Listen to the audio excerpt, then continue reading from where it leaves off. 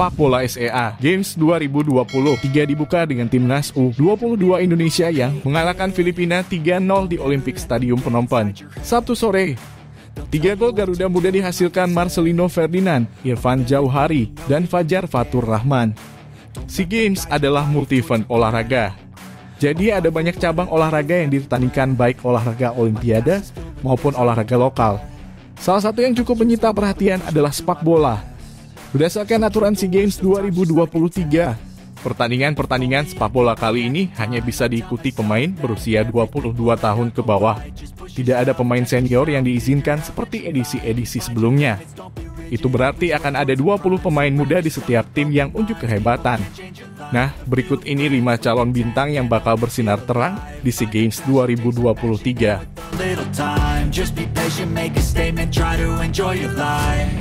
They'll try to kick you while you're down They wanna rise up while you drown Marcelino Ferdinand Indonesia Pada Piala AFF 2022 Marcelino Ferdinand dinobatkan sebagai pemain muda terbaik meski kemudian diralat karena AFF tidak memberikan penghargaan dalam kategori tersebut. Tapi itu bukan masalah. Marcelino Ferdinand membuktikan dirinya sebagai pemain muda Indonesia dengan masa depan cerah. Dia memutuskan berkarir di Belgia bersama KMS Insa sejak pertengahan musim 2022 hingga 2023. Hasilnya cukup bagus karena sudah mencetak gol. Usianya baru 18 tahun. Tapi pemain yang berposisi gelandang itu telah memainkan 12 cash bersama timnas Indonesia senior.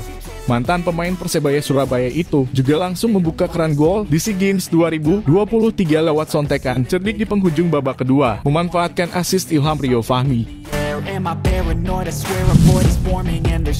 Levendo Vietnam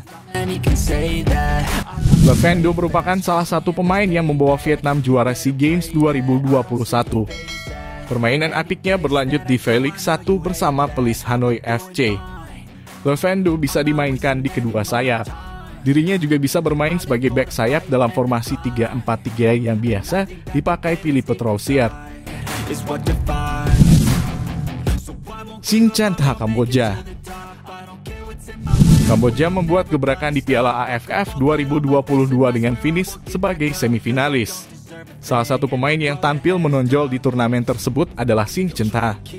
Meski baru berusia 20 tahun, Sing Cinta punya pengalaman bermain yang tak sedikit. Sejak melakukan debut pada usia 16 tahun bersama Kamboja U16, Sing Cinta telah memainkan banyak pertandingan internasional senior. Dia adalah pencetak gol tercepat di SEA Games dengan 8 detik. Itu terjadi pada SEA Games 2019 saat melawan Myanmar. Chanarong Promsikau Thailand Chanarong Promsrikau digadang sebagai pemain masa depan Thailand.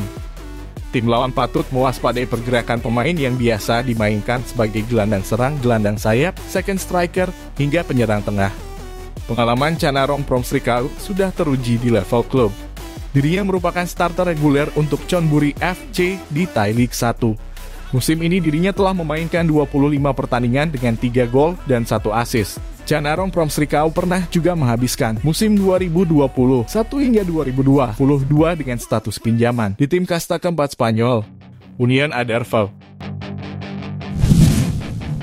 Asam Asmi Malaysia Malaysia disebut tidak bisa membawa skuad terkuat di SEA Games 2023 karena Johor Darul Tasim J. DT menolak melepas beberapa nama penting seperti Arif Aiman Hanapi. Tapi Harimau Muda tetap masih memiliki pemain berkualitas. Salah satunya Asam Asmi. Sejak bergabung Terengganu FC pada 2020, pemain yang berposisi bek kanan itu menjadi sosok kunci. Berusia 22 tahun, Asam Asmi sudah rutin bermain di klub. Dirinya memiliki 6 catch untuk timnas senior. Statistik yang mengesankan mengingat pemain muda itu bersaing memperebutkan posisi melawan Matthew Davis, Dion Charles, hingga Syahmi Safari.